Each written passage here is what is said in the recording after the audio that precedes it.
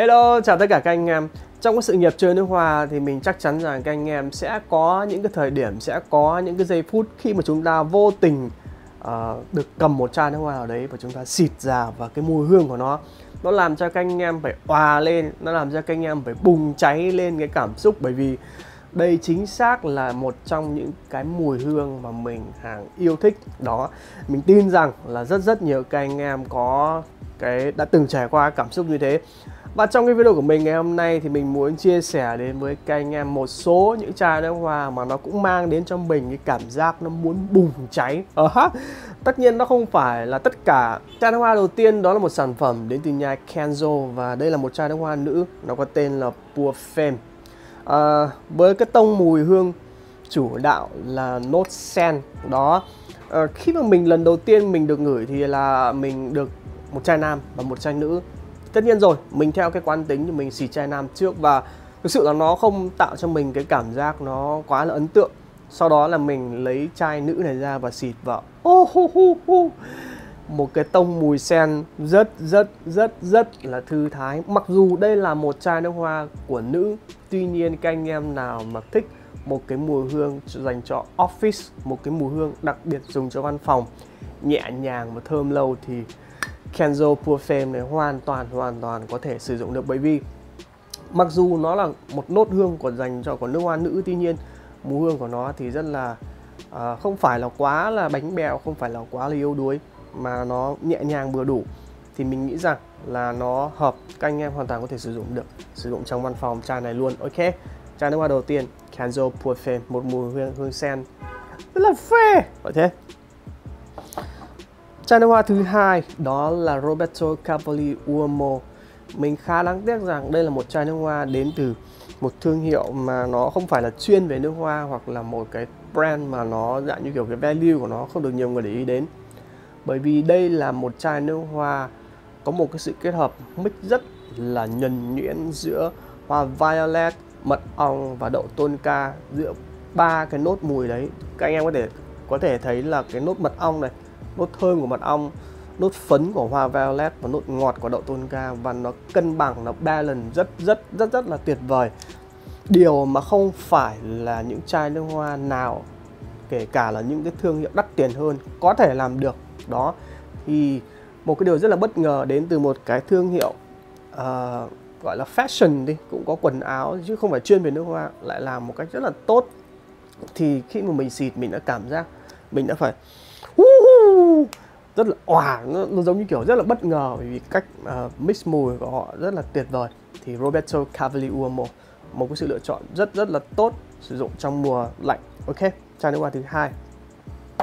Chai nước hoa thứ ba đó là bộ đôi sản phẩm của nhà Guerlain và nó có tên là Santa Royal uh, ờ, mùi hương này thật sự là mình cảm thấy là mình có duyên đấy bởi vì là có một cái lần đấy là mình đi offline và mình vô tình mình cầm cái chai nước hoa này. Trong rất là nhiều chai nước hoa đấy mình thực sự mình xịt không nhiều và mình lấy chai nước hoa này ra. Và ôn mẹ ơi cái combo trầm hồng tuy nhiên nó không quá là dữ dội nó không quá là ào ạt như những cái chai nước hoa của nhà Trung Đông mà nó rất rất rất rất là tinh tế. Và đây là phần còn lại của lịch sử. Mình đã sở hữu em nó rất đáng tiền để sở hữu em nó. Uh, chai nước hoa này một combo trầm hồng đậm mùi của nghìn lẻ một đêm. Tuy nhiên mà nó rất cái cách bẹt bẹt uh, ờ, mix mùi các nốt mùi của nó rất là ok rất là tốt. Chai nước hoa thứ hai đó là Musk Noble một tông mùi của xạ và hoa hồng. Phải gọi là anh em nào nếu sử dụng chai nước hoa này phải rất là cá tính và nó có một cái gì đấy nó bí ẩn một cái gì đấy nó ma mị một cái gì đấy nó rất là uh, gợi tình. Mình không biết tuy nhiên cái tông xạ mix cùng với hoa hồng của nó thì cũng rất là thú vị nói chung là nhà Kek Lăng làm bất kỳ một cái nốt nào đấy một cái gì đấy đều rất rất là ok. Do vậy anh em nếu mà có dịp hãy thử Santa và Most Noble bộ đôi. Uh, có hơi hướng mùi hương của Trung Đông tuy nhiên rất rất là hay ok? Chai nước hoa thứ ba đó là Paul Smith Rose. Uh, đây là một mùi hương hoa hồng đến từ một thương hiệu uh, không phải cũng không phải là chuyên nước hoa. Tuy nhiên mình nghĩ rằng khi các anh em ngửi chai nước hoa này thì với cá nhân quan điểm của mình mình thấy rằng nó hoàn toàn có thể ít nhiều so sánh được với MFK Alaro, Diptyque Row những cái chai nước hoa có tông mùi hồng tươi đắt tiền hơn nó rất là nhiều.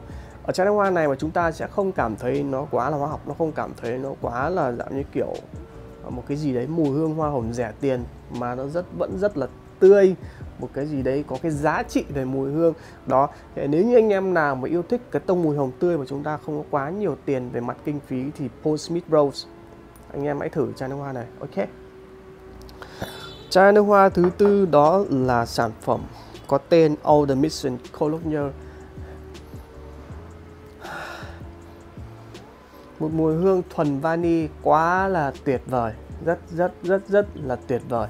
Anh em nào nếu như mà chúng ta, mọi người đều nên biết là vani nó rất là phổ biến, nó quá là phổ biến mà nó mix rất rất nhiều các nốt nguyên liệu. Tuy nhiên nếu như chúng ta muốn tìm một cái tông thuần vani ngọt nhưng không ngấy và nó cảm giác một cái gì đấy nó rất là ấm cúng. Thì đây Automation Cologne một à, uh, mùi hương mà được mọi người thường hay đánh giá là nó có nét giống với có thể gọi là ông vua của nốt mùi vani đó là Kerlan Double vani. Rất rất rất rất là thơm ngon. Do vậy anh em nào nếu muốn tìm một tông vani chuẩn chỉ thì đây trà nước hoa này sẽ đáp ứng được cho các anh em trà hoa thứ năm, đó là một sản phẩm của nhà Cartier và nó có tên là Lamvo đây là một tông mùi hương của mật ong và chút cay nồng của gỗ. Nhà Cartier này có thể gọi là mình rất là thích về từ về cái kiểu dáng của họ, về cái cách làm mùi của họ, về cái kiểu dáng chai lọ. Anh em có thể nhìn thấy rất là hiếm chai nước hoa nào, kể cả thậm chí là đến từ niche, có cái độ tinh tế về độ gia công như thế này. Nhưng nhà Cartier làm, họ làm rất là đẹp luôn bên mùi hương của chai nước hoa này thì thực sự là anh em nào mà trầm tính điển đạm nói chung là một cái gì đấy nó manly thì chúng ta thay vì uh, chúng ta có thể tham khảo uh, bỏ qua có thể Danju Icon Terra Image mà chúng ta có thể thử mùi của Lambo Cartier một cái tông mùi hương mật ong thơm nhẹ kết hợp cùng với cay nồng của gỗ. Rất rất rất rất là đáng tiền. Ok anh em nào nam tính tìm một cái mùi hương văn phòng. À, nói chung là những cái môi dịp không gian hẹp thì Lambo rất rất là thích hợp nữa đó là Herod Perfume de Mali Herod. Tình yêu của mình của mùi hương thuốc lá. Mặc dù là mình biết là có rất rất nhiều như là Naso, Tobacco Vani gần như là Frank Blockhead, Tobacco. Tuy nhiên đối với mình Herod luôn luôn là chân ái của mùi hương thuốc lá. Không gì có thể thay thế được đối với mình. À, mình đã nói rất là nhiều mùi hương chai này rồi. Tuy nhiên nếu để mà nói một cái tông mùi thuốc lá mềm bọc trong một chút ngọt thì Herod luôn luôn là số 1 và cuối cùng là một sản phẩm đến từ một thương hiệu ở nước hoa của Thái Thai Butterfly và nó có tên là Mango Leaf. Đây là một mùi hương có thể gọi giống hệt như một quả xoài chín. À, thật ra trong khu vực Đông Nam Á nếu mà các anh em để ý một chút thì Indonesia cũng có một thương hiệu đó là Anime by Anime cũng rất rất là hay. Và ở Thái thì mình biết thêm thương hiệu này. Thai Butterfly. Nếu như các anh em nào thích một cái mùi hương chui xoài có thể là một giống như kiểu xoài sinh tố thì đây mango leaf sẽ đáp ứng được cái nhu cầu. Nó dạng như kiểu một cái một, một mùi hương tuyến tính tuyến tính một mùi hương linear đó. Thì anh em nào hoặc là chị em nào thích cái tông mùi giống như kiểu là fruity trái cây thì đây mango leaf của nhà Thai, Thai Butterfly. Rất rất là thú vị. Ok. Thì vừa xong mình vừa chia sẻ đến với các anh em một số những chai nước hoa nó mang đến cho mình một cảm giác bùng cháy. Wow! À, rất hy vọng các anh em cảm thấy thích video này hãy like và share nếu như mọi người cảm thấy video giá trị. Và đừng quên subscribe nha. Còn bây giờ anh em mình bye bye và hẹn gặp lại.